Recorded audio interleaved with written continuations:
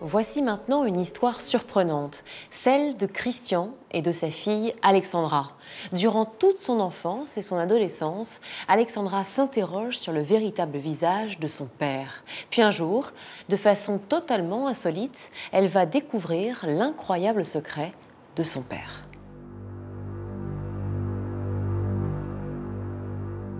Un jour, le téléphone sonne et j'étais dans ma chambre et je suis allée dans le couloir, j'ai écouté. J'ai entendu ma mère dire, euh, je sentais qu'elle était très, inquiète dans la voix, elle bégayait un petit peu. Et de là, dire, euh, bah, écoute, si c'est mieux pour toi, pars. J'ai bien compris que bon, c'était peut-être lié avec moi, que c'était lié à mon père. Alexandra est née le 17 juillet 1986 à Nice. Elle grandit dans une jolie villa de la Côte d'Azur avec ses parents, Christian et Corinne. À première vue, Alexandra a tout pour être heureuse. Mais voilà, Christian n'est jamais là et ses absences sont toujours inexplicables. Petite, euh, je vois, j'ai pas de souvenir de mon père. Mon père, c'est vraiment comme un courant d'air.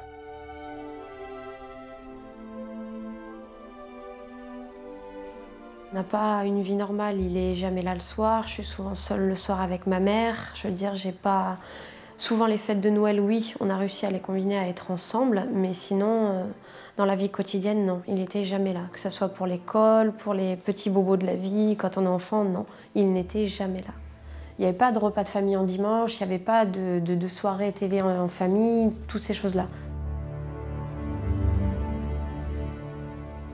Je me posais beaucoup de questions sur l'affection parce que je sentais vraiment qu'il ne s'intéressait pas à moi. Donc je ne savais pas en fait s'il fallait que j'en réclame ou s'il allait m'en donner. C'était vraiment un grand mystère. C'était euh, par exemple un petit bisou le matin, un bonjour ma puce, t'as bien dormi, mais sinon après, euh, plus un regard, plus un geste tendre de la journée. Ma mère, je sentais quand même qu'elle souffrait aussi de solitude parce qu'elle était souvent seule le soir. Elle, euh, elle, avait quand même toujours un air triste. Je ressentais qu'elle n'était pas, qu'elle pas heureuse en fait.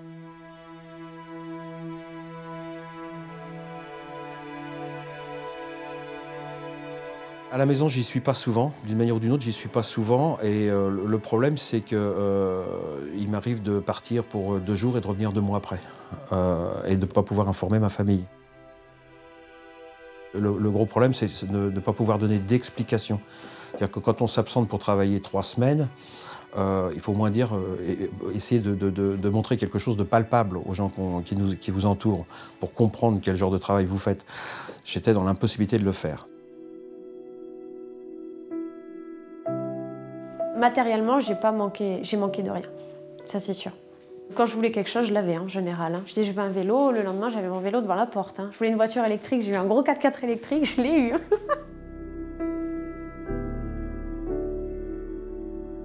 Avec Alexandra, c'était une manière de compenser et de lui faire comprendre que, que je, l'adorais et que c'était l'amour de ma vie à l'époque, puisque c'était ma petite fille. Donc euh, je, je, pensais que c'était euh, c'était la bonne solution. Je pense que ma fille aurait préféré que je lise des, des petites histoires avant d'aller se coucher. Ça aurait été aussi sympa et ça aurait coûté un petit, livre de contes. Voilà.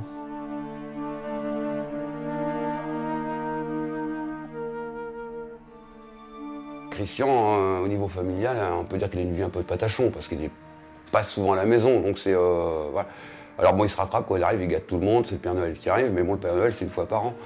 Ça fait un peu juste pour, euh, pour s'occuper de la famille. Hein. Donc quand il peut, il donne du temps à sa famille, mais bon, il est toujours en train de courir. Même si elle est couverte de cadeaux, Alexandra reste une enfant en manque d'affection. Les absences inexplicables de son père et les silences de sa mère l'inquiètent. Une angoisse qui grandit au fil des années, car à la maison, Alexandra assiste à d'étranges réunions. À la maison, il y avait beaucoup de passages, beaucoup de monde qui venait. Et... Donc je, pense que c'était lié au travail. Et mon père avait un énorme bureau qui était tout en marbre rouge. Il y avait une énorme cheminée et un espèce de, saloon. C'était super bizarre. Et souvent, quand j'ouvrais la porte ou que je regardais à travers la serrure, c'était que des hommes en costard avec un gros cigare et qui parlaient, qui parlaient, qui parlaient beaucoup, beaucoup, beaucoup. Et je me suis dit, mais quel travail il peut faire qui parle beaucoup? Enfin, c'est bizarre, on dit je suis au travail et en fait on parle toute la journée. Et de là, j'ai commencé bah, à fouiner. je suis allée dans la chambre, l'endroit où j'avais vraiment pas le droit d'aller. Donc forcément, ça attire un peu. Et j'ai commencé à me dire, je vais commencer par quoi? Donc bon, j'ai fait sous le lit. Sous le lit, il y avait des mallettes. Je n'arrivais pas à les ouvrir. Après, il y avait euh, une grosse table basse. Alors, soit parce que j'étais petite, soit parce qu'elle était vraiment grosse. Et quand j'ouvrais les, tiroirs, c'était des grosses liasses de billets. Et là, je me suis dit, mais pourquoi il y a tout cet argent? Ça m'a impressionné sur le coup et je me suis bien douté que c'était pas normal. Christian, euh, c'était quelqu'un de, oui, de très mystérieux. Je ne savais vraiment pas ce qu'il faisait. Voilà, je n'avais aucune idée. Je pensais qu'il était courtier. Euh, mais en quoi Alors là, c'est la, grande question. Il était là sans être là, c'est que je le voyais passer d'une pièce à une autre, soit au téléphone, soit avec ses papiers, soit toujours contrarié. Le travail, le travail, c'était ça qui le préoccupait. Quoi. On sentait qu'il avait toujours quelque chose en tête. Je sentais dans son attitude qu'il était inquiet, qu'il y avait des, choses qui ne marchaient pas comme il le voulait et que ça l'énervait beaucoup. Voilà, donc c'était du genre dit un tel de me rappeler vite avant que ça se passe mal. Voilà, c'était des choses comme ça, vraiment comme ça. J'ai jamais posé de questions à mon père sur ce qu'il faisait. Je sais pas, c'est pas de la pudeur, je sais pas pourquoi j'ai jamais fait ça, mais peut-être peur d'une réponse, je sais pas trop, mais je lui ai jamais posé la question. Ma mère, je lui ai. Je, pense que je lui, ai je lui ai tendu plusieurs perches pour savoir un peu ce qui se passait, un peu dans la vie de mon père. Et elle a estimé que j'étais pas prête. Pour Alexandra, les activités de son père sont de plus en plus mystérieuses. Si Alexandra a grandi malgré tout sereinement, à la maison, le climat se détériore. En 1993, sa mère demande et obtient le divorce. Alexandra part vivre à Nice avec elle. Christian, lui, s'installe à Béziers. La jeune fille partage ses week-ends entre ces deux lieux de résidence. Puis un jour, alors qu'elle est censée se trouver à Béziers chez son père, Christian l'emmène chez des amis à Bordeaux. Le week-end s'est super bien passé chez des gens que je ne connaissais pas, mais toujours ce sentiment que eux me connaissent parce qu'ils sont super gentils, super avenants.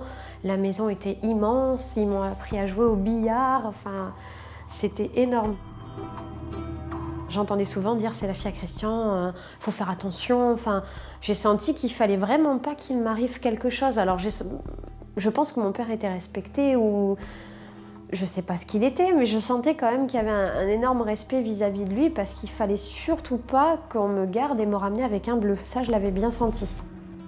J'étais obligé de l'emmener, de, la faire venir dans, mes relations, dans, mon autre vie, de la faire entrer dans mon autre vie. Quand j'ai eu ma mère au téléphone et que je lui ai dit bah, Je suis pas à Béziers, je suis à Bordeaux, ça a été Passe-moi ton père. J'ai compris que le ton était donné. Et euh, j'entendais mon père qui disait C'est bon, t'inquiète pas, je sais ce que je fais, euh, t'inquiète pas pour elle. Je sentais que le ton montait, elle m'a reparlé, elle m'a repris le téléphone, elle m'a dit s'il y a quoi que ce soit, s'il se passe quoi que ce soit, tu sais que maman est là, tu m'appelles. Quand je suis rentrée, ma mère m'a posé un tas de questions et comment c'était, est-ce qu'ils ont été gentils, est-ce que ton père ça allait?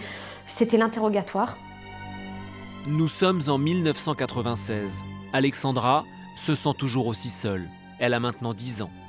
Pris par ses activités professionnelles, son père est toujours aussi peu présent.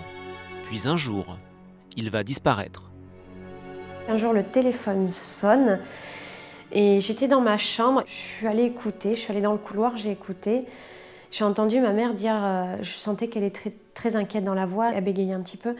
Et de là, dire, euh, bah, écoute, si c'est mieux pour toi, pars. J'ai bien compris que bon, c'était peut-être lié avec moi, que c'était lié à mon père. Voilà. J'ai pas posé de questions parce que bon, je n'étais pas censée écouter aux portes à ce moment-là. Et elle ne m'a rien dit après, donc euh, j'ai bien compris que je ne devais pas savoir. Alexandra s'enferme dans le secret. Elle a tout juste 12 ans et elle sent bien que quelque chose ne tourne pas rond. Pourquoi son père a-t-il disparu? Elle en est persuadée, sa mère lui cache forcément quelque chose. Euh, ma mère ouais, était quand même très très angoissée. Je sais que son attitude a quand même beaucoup changé. Euh, à l'école, tout le monde rentrait soit en bus, soit à pied. Moi, j'avais plus le droit de rentrer toute seule. Il fallait que quelqu'un vienne me chercher. Bon, c'était tout le temps ma mère. Et un jour, ma copine, une de mes copines dit Alexandra peut rentrer avec moi chez moi. Ma mère, il en est hors de question. Alexandra rentre avec moi et c'est comme ça. Là, j'ai senti que c'était un non négociable et que c'était comme ça. Voilà, j'ai bien senti qu'elle était très très très inquiète. Et euh, je veux dire, à 12 ans, on a un peu, envie d'être autonome quand même, mais j'ai senti qu'elle était inquiète et qu'il fallait qu'elle soit tout le temps là. Je me posais de plus en plus de questions et pourquoi et pourquoi et qu'est-ce qui se passe? Et c'est vrai que ça enflait beaucoup enfin c'était de pire en pire au niveau des questions et ma mère n'y répondait pas et ne voulait pas me répondre. Ça je l'avais bien compris et c'est vrai que c'est à partir de ce moment-là où j'ai vraiment eu beaucoup de mal à, encaisser tout ce qui se passait. Le fait que personne ne veuille me parler, je me suis vraiment sentie rejetée. Je m'en souviens très très bien de cette période. J'ai vraiment changé au niveau caractère, comportement. Et j'ai vraiment, je me suis mis dans ma tête euh, que je me laisserais plus faire.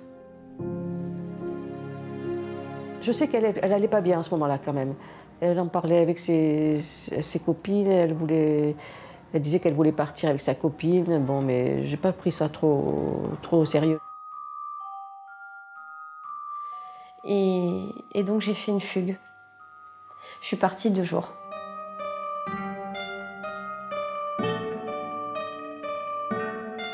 Quand j'ai décidé de rentrer de, toute façon, bon, j'avais 100 francs en poche, je pouvais rien faire et puis bon, enfin, je savais pas comment me débrouiller toute seule en pleine nature. Donc euh, j'ai dit bon, bah, je vais rentrer. J'ai rallumé mon téléphone, ma messagerie débordée d'appels. J'appelle ma mère, je lui dis bon, écoute, euh, je rentre, mais il faut qu'on parle, il faut qu'on se parle. De retour chez elle après 48 heures de fugue, Alexandra se tourne enfin vers sa mère. Après quelques hésitations, celle-ci décide de lever un coin du voile sur les activités de Christian. Ma mère m'explique que mon père était un voyou. Donc euh, ses premiers braquages, ses gros coups, comme lui aussi peut le dire.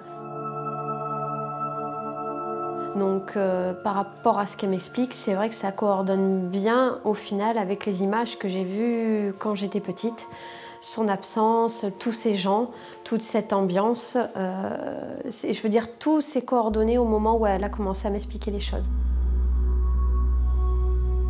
C'est quand même une grosse révélation, c'est quand même quelque chose d'assez lourd à entendre. Donc euh, je me suis dit, est-ce qu'il est méchant avec les autres? Comment il est avec les autres? Enfin, ça doit être une autre personne. On doit pas, enfin, les personnes extérieures ne doivent pas le voir comme moi je le vois. Et c'est assez, assez troublant de se dire que son père est peut-être quelqu'un d'autre.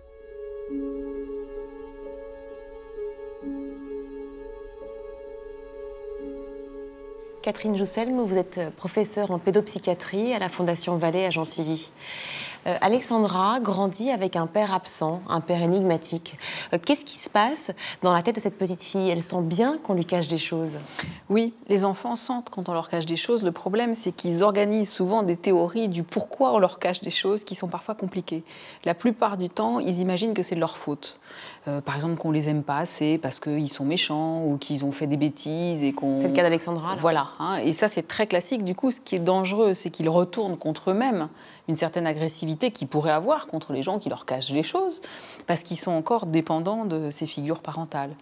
D'un autre côté, euh, leur dire certaines choses est parfois très compliqué quand ils sont petits. Et dans le cas d'Alexandra, le, secret est quand même de taille. C'est pas un secret facile à dire. Et elle a fugué. On le sait, puisqu'à 13 ans, elle est partie trois jours. Oui, sans doute à 13 ans, euh, d'un seul coup, euh, une partie d'elle a dit euh, c'est plus possible. On m'explique une vie, c'est pas la vraie vie. Il y a autre chose. Il y a une vie derrière la vie. un peu comme dans Woody Allen, quand un personnage va rentrer dans l'écran de cinéma. Elle a dit c'est plus possible. Je peux plus vivre dans ce leurre. Mais sans pouvoir mettre de mots réels dessus, sans pouvoir se dire que c'était un leurre. C'était vraisemblablement un moment très angoissant pour elle. C'est comme ça que vous analysez sa fugue? C'était un besoin d'échapper, un besoin de dire non, stop, il y a quelque chose qui ne va pas? Moi, il me semble dans l'histoire, à la fois stop, quelque chose ne va pas, et à la fois je convoque les adultes parce que je me mets en danger et forcément quelqu'un va réagir. Même si c'est pas conscient, il y a souvent chez l'enfant et particulièrement à l'adolescence un mouvement comme ça de, de rattache aux figures adultes. Soyez adultes, protégez-moi. Euh, c'est parce qu'Alexandra a fugué, qu'elle est partie trois jours, que ça a été un élément déclencheur pour la maman d'Alexandra. Et donc, elle lui a dit les choses. Est-ce qu'il y a un moment pour parler? Ah, Je crois que le moment euh, qui est choisi par les adultes pour parler, c'est quand eux en sont capables. C'est ça qui est difficile. C'est que parfois, euh, le, le, secret traumatise l'adulte aussi parce qu'il ne trouve absolument pas les mots pour arriver à expliquer quelque chose que lui n'arrive même pas à concevoir. Donc, euh, je crois que la maman d'Alexandra, là, elle s'est dit, bon, euh, c'est non-assistance à personne en danger. Ma fille se met dans une situation dramatique, éventuellement, je ne peux pas lui cacher quelque chose. Mais euh, évidemment, on aurait préféré que peut-être cette maman et ce papa soient fait aider en temps, en heure, on ait parlé à des tiers, qui peut-être les auraient aidés à parler du secret autrement à un moment donné. Mais pour une petite fille de l'âge d'Alexandra, à 6 ans, avoir la vérité sur la situation de son père aurait été aussi quelque chose de très compliqué. À qui elle aurait raconté euh, que son père était un truand, un voyou? Comment elle aurait caché ce secret aux autres? Comment elle aurait porté ce poids-là en elle par rapport aux autres? Je vis avec un papa qui est un voyou. Est-ce que c'est simple à assumer à l'école maternelle ou en primaire? Je ne sais pas. Pas si simple en tout cas de le garder pour elle. Voilà. Euh, ce qui est troublant, c'est qu'on remarque que Alexandra pose peu de questions quand elle est petite elle interroge peu ses parents. Euh, pourquoi, selon vous? La plupart des enfants protègent leurs parents. C'est-à-dire quand ils sentent qu'il n'y a pas euh, de petite euh, ouverture, de faille dans le discours parental, ils ont, je crois, la sensation inconsciente que c'est interdit, qu'on ne peut pas penser. Et c'est d'ailleurs le drame pour certains enfants qui s'empêchent de penser dans tous les autres domaines. Ils n'arrivent pas à apprendre à lire, ils arrivent mal à écrire, ils n'arrivent pas à se passionner pour les relations avec les autres. Donc, quand ils ne posent pas de questions, c'est vraiment qu'ils protègent finalement ce secret dont ils sentent qu'il est essentiel pour les parents. Mais ils protègent quoi exactement? C'est-à-dire l'amour qu'il y a entre eux? Je pense qu'ils protègent le lien qu'ils ont aux parents, avec l'impression d'être sacrilège. S'ils pouvaient poser une question et qu'on leur dise quelque chose, alors peut-être leurs parents s'écrouleraient, seraient morts, euh, deviendraient malades, les abandonneraient. Enfin, c'est de cet ordre-là. C'est fantasmatique, en fait. Bien sûr, c'est fantasmatique. Et c'est souvent très inconscient.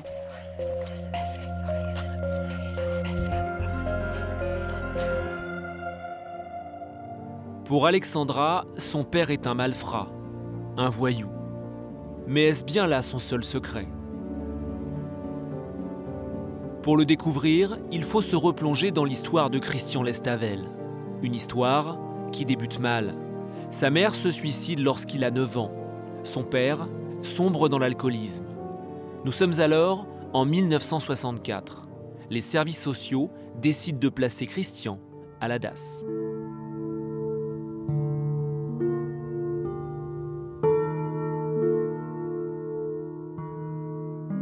M'adapte pas avec les éducateurs, je m'adapte pas dans le système.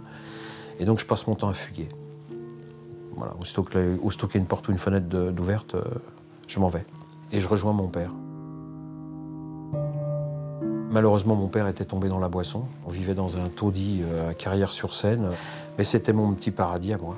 Je finis par rencontrer dans le quartier où vit mon père euh, bah, des, jeunes qui sont des petits délinquants. Et donc on décide plus ou moins de, de vivre ensemble, tous les uns les autres, de s'entraider. Notre but, c'était pas de faire des sacs à main ou des choses comme ça, ça, ne nous venait même pas à l'esprit. Donc il restait pas grand-chose à faire après pour vivre. Euh, c'était de faire des banques, tout simplement. Ça nous est venu euh, tout à fait naturellement. Bizarrement, le premier braquage, c'est une gare, la gare de la Verrière. Et on a tellement peur.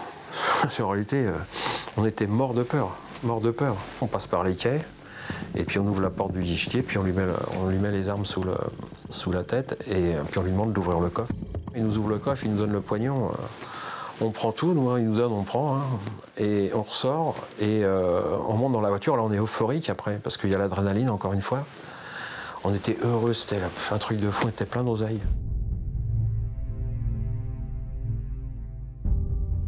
Un soir, euh, Christian est arrivé euh, et euh, m'a donné de l'argent. Il m'avait donné, je ne sais plus, je sais plus quelle somme. Et moi, j'étais mais hyper contente. Je, me dis, oh là là, c'est énorme.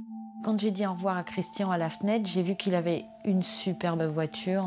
Il avait une Jaguar on enchaîne tous les braquages, tout se passe bien. Et puis à un moment, euh, la raison revient quand même. On se retire, on arrête, on arrête de déconner. Moi, mon rêve, c'était d'ouvrir une épicerie. C'était de devenir épicier comme mon frère aîné. Mon frère aîné est épicier, je, trouvais ça fabuleux, je, rêvais d'ouvrir une épicerie.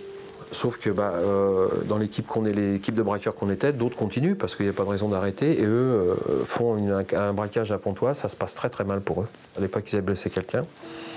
Et euh, évidemment, quand ils sont arrêtés, entendus et tout, bah, ils balancent tout, absolument tout. Et donc, bah, mon passé me rattrape. mon passé me rattrape et puis je me fais arrêter. Et, et je suis condamné plusieurs années, j'ai plusieurs années de détention.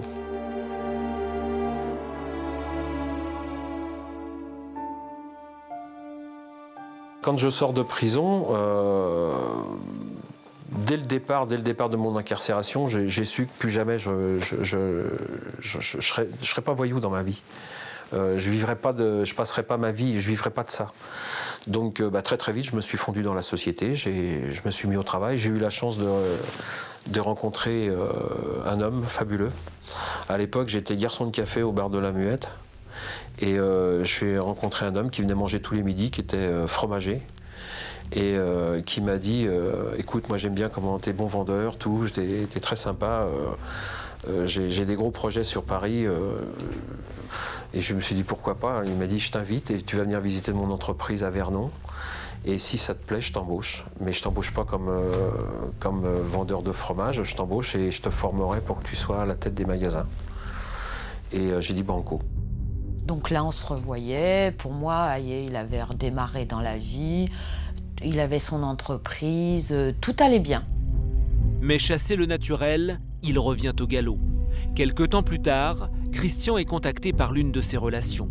L'homme est avocat. Il s'appelle Alain. Le passé trouble de Christian n'est pas un secret pour lui. Il lui propose un nouvel emploi.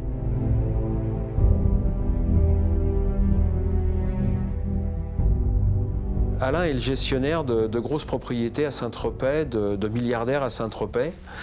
Et euh, donc, euh, il me demande de tout superviser pour lui et de faire tous les travaux. Je, deviens le majordome de, toute la gestion de, ses propriétés.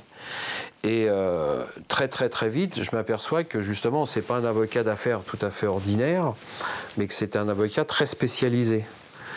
Et spécialisé comme conseil dans le grand banditisme je m'aperçois qu'il est euh, un, des avocats du groupe Zampa, qui est un des groupes euh, criminels les plus importants de, la Côte d'Azur à l'époque.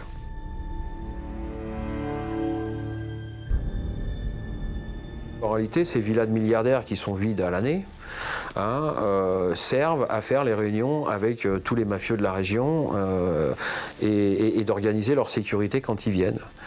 Donc euh, c'est le premier travail que je fais avec lui. Et parallèlement, comme il fait des affaires assez chaudes, euh, bah, j'ai repris de nouveau les armes. Et je lui assure sa sécurité. Je rentre dans un système où on ne peut plus rien cacher parce qu'ils savent tout. À cette époque-là, j'avais deux appartements. J'avais un appartement euh, à Nice dans le cadre professionnel et un Grasse dans le cadre familial. Donc j'ai deux vies euh, totalement différentes, euh, où j'ai un appartement, mes vêtements, ma voiture. et quand je, je, finis mes, activités, bah, je me change et je rentre chez moi. J'oublie cet appartement, j'oublie absolument tout. je nettoie mes voitures, généralement. Je fais très attention au papier, aux clés. Christian Lestavel replonge, il redevient un voyou. Mais les affaires vont mal. À la fin des années 70, la Côte d'Azur est ravagée par une guerre sans merci. Deux clans s'affrontent. D'un côté, celui de Gaëtan Zampa. De l'autre, celui de Francis le Belge. Christian et Alain sentent le vent tourner. Ils prennent leur distance avec le milieu et se rapprochent de la Camorra italienne qui cherche à s'implanter dans le sud de la France pour blanchir l'argent de la drogue. Arrivé un moment, euh, l'avocat est contacté dans le cadre de, reprise de casinos sur la côte d'Azur. On est en pleine guerre des casinos, les machines à sous arrivent, euh, il y a des enjeux économiques et financiers énormes. Et donc, euh, avec l'avocat, on pilote la mise en place d'une première société qui a défrayé la chronique, qui s'appelle la Sofex Tour, et qui était chargée de racheter le casino de Menton et d'autres casinos. Le casino de Menton était en, règlement judiciaire et il était même en liquidation, si mes souvenirs sont exacts. Donc il était à la vente. se sont présentés plusieurs repreneurs. Et bah, on a vu apparaître, pour un certain temps, la personne qui était derrière, qui semblait diriger tout, Gianni Tagliamento, qui était donc un camoriste connu des Italiens et bien répertorié comme camoriste de très bon niveau. Euh, Tagliamento, par exemple, avait quand même des attitudes euh, extrêmement violentes. Euh, s'il n'était pas un peu freiné par son entourage, il, il, aurait balancé volontiers du plomb, comme on dit. L'arrivée de la mafia italienne sur la côte d'Azur inquiète les autorités françaises. Leur réaction ne se fait pas attendre. Après plusieurs mois de surveillance, les activités de Christian et Alain sont dans le collimateur des services de renseignement. Soucieux d'empêcher l'implantation de la mafia, les forces de l'ordre décident d'organiser une importante opération. Ils sont six, six Italiens appartenant à la mafia des casinos.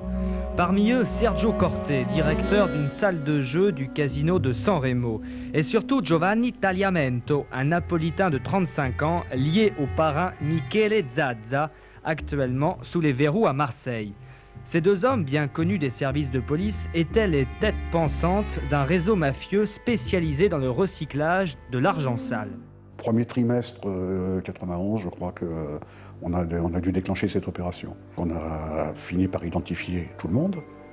Et, euh, nous avons répertorié, notamment côté français, donc un certain Christian Lestavel, donc euh, bah, on est tous arrêtés. Donc euh, bah, j'apparais, euh, ce que les gens pouvaient penser de moi, en ont la confirmation. Quoi. Je suis irrécupérable, mafieux, dangereux, sans foi ni loi. Je, bon, été bouche bée. Été comme ça. Mais pour moi, intérieurement, c'était pas possible. Il n'est pas mauvais à ce point-là, pour être dans ce milieu-là. On n'a pas trouvé l'origine de l'argent et les perquisitions n'ont pas donné lieu à la découverte de, produits stupéfiants. Euh, ce qui n'est pas étonnant d'ailleurs, euh, à mon avis, ça aurait été un coup de peau si on en avait trouvé. Ce qui ne veut pas dire qu'il n'y en avait pas, on n'en a pas trouvé. Donc impossible de prouver le blanchiment, donc euh, impossible de prouver l'origine légale des fonds. donc tout, ce petit monde relâché au bout de, je crois, 48 heures de garde à vue. Hein, Christian continue néanmoins ses activités douteuses dans les casinos. Mais en 2001, la justice le rattrape. Christian est jugé pour association de malfaiteurs et abus de biens sociaux. Il écope cette fois-ci de six mois de prison ferme. À la fin de son incarcération, Christian se retire des affaires et décide d'écrire ses mémoires. Mais ses confessions vont bien au-delà de ce que peut imaginer son entourage, sa famille et surtout sa fille, Alexandra. Un soir d'avril 2006, alors qu'Alexandra rentre du travail, elle reçoit un appel de son père. Alexandra, qui a alors 20 ans, est loin de se douter du secret que son père va lui révéler.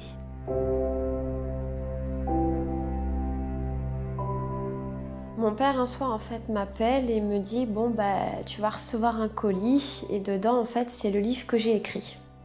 Je reste un peu bête et je dis bah il parle de quoi ce livre parce que ça pourrait être une histoire, ça pourrait être quelque chose de romancé. Il me dit, bah, c'est toute ma vie. J'avais besoin, euh, vis-à-vis de ma famille, euh, de justifier ces années. Il y avait des personnes qui me tenaient à cœur et ça m'aurait été difficile euh, qu'ils ne sachent pas. Mais en moins, tous les gens qui m'entourent apprennent que je ne suis pas un voyou, que tout ce que je pouvais faire paraître, euh, c'était faux. Euh, que je suis en réalité quelqu'un de très simple. Ma famille, mes enfants apprennent que je suis infiltré depuis des années pour le compte de la DCRG, la Direction centrale des renseignements généraux. Et que bah, ça a été une passion pour moi.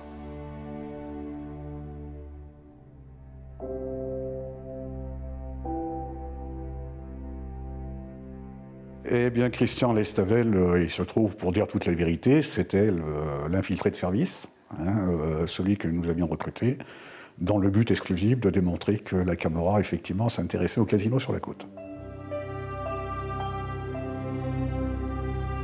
Ça surprend d'apprendre que son papa est infiltré. Donc, en fait, pendant tous ces, ces longs mois d'absence, en fait, il n'était pas je sais, enfin, j'arrive à me faire une idée de là où il était en fait. J'arrive, ça y est, à visualiser après la lecture du livre de ce qu'il a pu faire.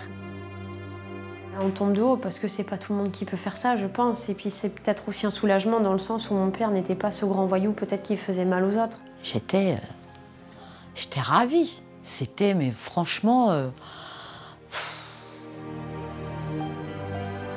J'étais soulagée de, me dire il est du bon côté. Pour moi, il, ne pouvait pas être un, bandit, on va dire, euh, euh, faire du mal. Pendant 15 ans, Christian a donc travaillé pour les renseignements généraux, au péril de sa vie et de celle de ses proches. Christian n'a pas été recruté par hasard. C'est en sympathisant avec un agent de la police judiciaire de Versailles, lors de ses braquages de jeunesse, qu'il est devenu un infiltré. L'époque, je travaillais dans mes fromageries. J'étais gérant de, mes fromageries. Et été recruté à ce moment-là en me disant que par les relations que j'avais eues euh, à la fois en prison et les relations que j'avais nouées sur la côte d'Azur, j'avais peut-être la possibilité de leur rendre service. J'ai rencontré euh, Christian Lestabel euh, dans les années 90. je l'ai rencontré un après-midi. il pleuvait. C'était en hiver. C'était donc dans un, dans un bar. Et euh, nous avons discuté très longuement. J'ai passé quand même euh, quasiment euh, enfin, 3 à 4 heures avec lui, je dirais le tourner, le retourner, le mettre un peu sur le grill. On a fait toutes les vérifications nécessaires sur son compte. Et c'est vrai qu'il avait un passé judiciaire, disons qu'il pouvait se présenter très valablement dans un groupe criminel, disons qu'il ne déparait pas la famille. Quand je suis recruté, euh, je ne peux pas imaginer euh, et je n'ai aucune idée des conséquences familiales euh, que ça produira dans le temps et dans ma vie après. Quand vous avez la possibilité de pouvoir servir, de pouvoir vous lever le matin en disant, ben voilà, les gens peuvent pas le faire, mais toi tu sais que tu peux le faire. qu'est-ce qu'il vous reste comme choix dans la vie? Franchement, qu'est-ce qu'il vous reste? Vendre des fromages? Non, je vends pas de fromage. Je vais me lever, j'y vais. Je vais voir. C'était au, départ, c'était, ça devait être momentané. Hein. Ça devait être six mois de ma vie, un an de ma vie, pas plus. Ça s'arrêtait là. Et puis bon, ils ont dû s'apercevoir que j'étais pas trop mauvais. Christian était volontaire. On l'a bien expliqué euh, toutes les conséquences que ça pouvait avoir. Il le fait en connaissance de cause. donc, euh, c'est un contrat qu'on passe. Mais comme dans tout contrat, il y a les avantages et les inconvénients. Donc, euh, il le sait. En plus, c'est quand même un boulot qu'il aime. Il le fait par goût. Je lui en voudrais toujours quand même un peu parce qu'une enfance, ça se rattrape pas. Mais je lui en veux beaucoup, on va dire ça comme ça, je lui en veux beaucoup moins que quand j'étais ado. J'ai pas pensé aux conséquences que ça, pourrait avoir sur, euh, sur ma fille. Il m'a fallu beaucoup de temps pour comprendre euh, ce qu'elle avait dû subir à, cause de moi. Manque de bol, il m'a fallu trop de temps. Parce que toute la période de son enfance et de son adolescence est passée quand j'ai commencé à comprendre que ma fille était plus importante que tout ça et qu'elle avait certainement besoin d'un père. On n'a jamais parlé de ça, lui et moi. Je sais pas pourquoi et parce que peut-être que les explications, je les ai dans le livre. Donc je me suis dit au moins déjà, c'est une personne en moins à affronter. C'est très... C'est très, comment dire, très peureux, j'avoue. c'est vrai que j'ai un petit peu peur en fait d'avoir, euh, de me retrouver confrontée à lui. À part quelques brides de conversation, on n'a jamais, on jamais pu en discuter ensemble. Ça a, été, euh, ça a toujours été un grand silence.